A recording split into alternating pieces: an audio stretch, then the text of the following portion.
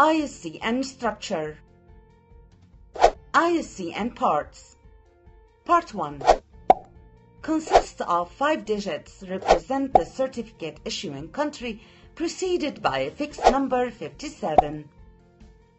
Part 2 consists of three letters, uppercase, representing sector of the issuing, academic, ACD, governmental, GOV, commercial, COM, and services, SRV. Part 3 consists of three letters, uppercase, representing the certificate type or field, academic, ACD, experience, EXP, and quality certificate, QUL.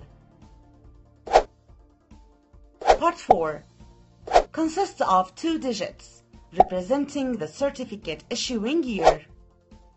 Part 5 consists of four fields, two digits and two letters, representing the International Unified Number of the issuing authority, Establishment International ID in the system database.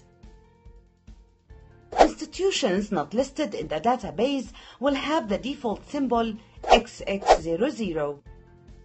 Part 6 consists of non-repeatable unique 8 fields, 4 letters and 4 numbers, representing the ISCN unique searching code.